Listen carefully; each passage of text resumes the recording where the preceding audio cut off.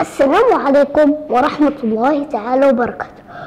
في إطار مبادرة همس قارئ الذي أطلق هنادي القراء بالمركز السوسيو ثقافي ومع توازي مع مسابقة قارئ النهم التي نظمها نفس المركز وكلا النشاطين يهدفان إلى تشجيعنا على القراءة لتصبح عادة مترسخة بسلوكاتنا اليومية يسعدني أعزائي القراء أتقاسم معكم همسة قرائية الكلب الطامع. اسم القصة الكلب الطامع. شخصية القصة الكلب خطف الكلب رغيفا وذهب إلى شاطئ النهر يأكله فرأى صورته في الماء. فضمها كلبا آخر في فمه رغيف أيضا فهجم عليه ليأخذه منه ولم يجد شيئا. وضع الرغيف الذي كان لم يجد شيئا.